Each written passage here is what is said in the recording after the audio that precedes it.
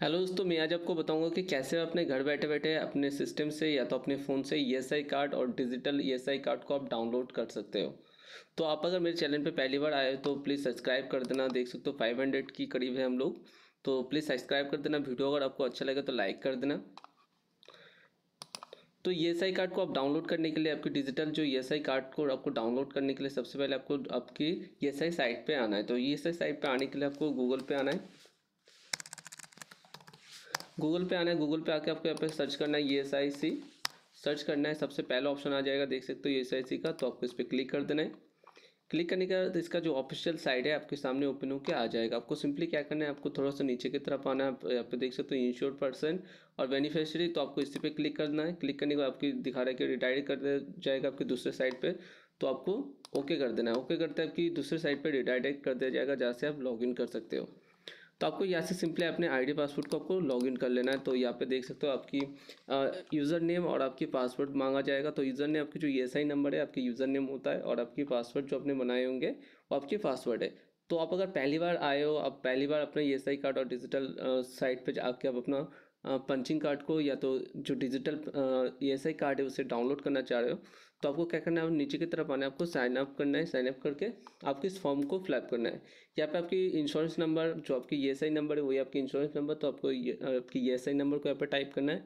आपकी date of birth को type करना है, आपकी मोबाइल नंबर को टाइप करना है, आपकी यहाँ पे कैप्चर को यहाँ पे टाइप करके आपको साइन अप कर देना है।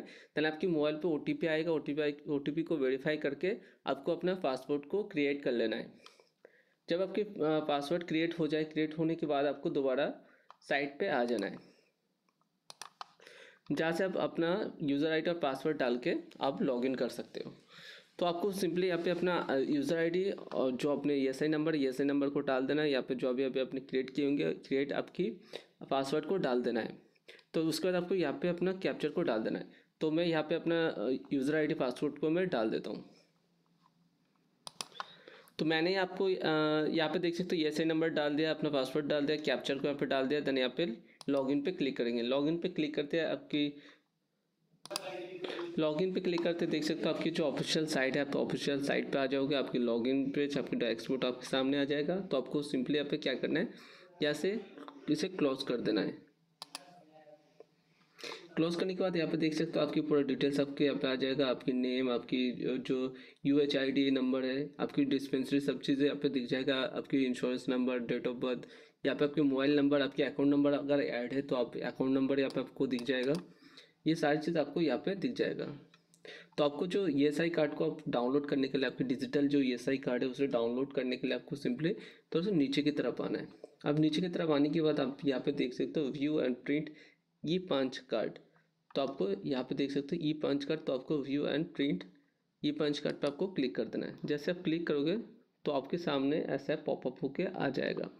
तो आपको सिंपली क्या करना है, आपको व्यू एंड प्रिंट ई पाँच कार्ड पे आपको क्लिक कर देना है। अब देख सकते हो, यहाँ पे आपके नाम दिख जाएगा, आपकी कंपनी का नाम दिख जाएगा, यहाँ पे एम्प्लॉयर कोड आपको यहाँ पे दिख जाएगा, और यहाँ पे व्यू एंड प्रिंट ई पाँच कार्ड। आपको इस पर आपको क्लिक कर देना है। जैसे आप क्लिक करोगे क्लिक करने के बाद आपके सामने ऐसा एक जो आपकी ई पंच कार्ड है ई पंच कार्ड आपके सामने ऐसे ओपन होके आ जाएगा, जहाँ पे आपकी पूरी डिटेल्स होगा, आपकी नेम आपके फादर नेम आपकी मैरिज स्टेटस आपकी एड्रेस आपकी डिस्पेंसरी नेम आपकी यू एच आई डी आपकी पूरे डिटेल्स आपको यहाँ पे मिल जाएगा, आपकी कंपनी नेम कंपनी की एड्रेस प्रॉपर सारी चीज़ें आपके यहाँ पे मिल जाएगा, आपकी फैमिली डिटेल्स यहाँ पे आपको दिख जाएगा। देख सकते हो, यहाँ पे आपकी फैमिली डिटेल्स जित, जितने भी लोगों को अपने ऐड कर रखे होंगे, आपके पूरा डिटेल्स आपको यहाँ पे दिख जाएगा। आपकी जो, यहाँ पे देख सकते हो स्पॉन्सर होगा, जो भी आपकी यहाँ पे सेम चीज़ आपको यहाँ पे दिख जाएगा। आपको सिंपली क्या करना है, आप देख सकते हो, यहाँ पे डाउनलोड एंड प्रिंट का ऑप्शन आ रहा है। तो आपको डाउनलोड एंड प्रिंट पर आपको क्लिक करना है। डाउनलोड एंड प्रिंट पे क्लिक करने के बाद आपके सामने यहाँ पे देख सकते हो डाउनलोड हो चुका है तो आपको सिंपली क्या करना है, इसे ओपन कर लेना है। आपको ओपन करने के बाद यहाँ पे देख सकते हो आपके ई पंच कार्ड आपके सामने यहाँ पे डाउनलोड हो चुका है। तो आपको सिंपली क्या करना है, आप नीचे की तरफ़ आके अपना पूरे डिटेल्स को आपको चेक कर लेना है। आप देख सकते हो यहाँ पे पूरी चीज़ आपको यहाँ पे मिल जाएगा। तो आप भी घर बैठे बैठे अपने सिस्टम से या तो अपने फ़ोन से अपना ई पंच कार्ड आपकी जो digital E S I card या तो अपना ई एस आई कार्ड अब कुछ भी बोलिए सेम चीज़ तीनों ही तो आपकी घर बैठे बैठे अपने फ़ोन से या तो सिस्टम से आप डाउनलोड कर सकते हो। तो वीडियो अगर आपको अच्छा लगा तो लाइक कर देना, शेयर कर देना, सब्सक्राइब कर देना। Thank you so much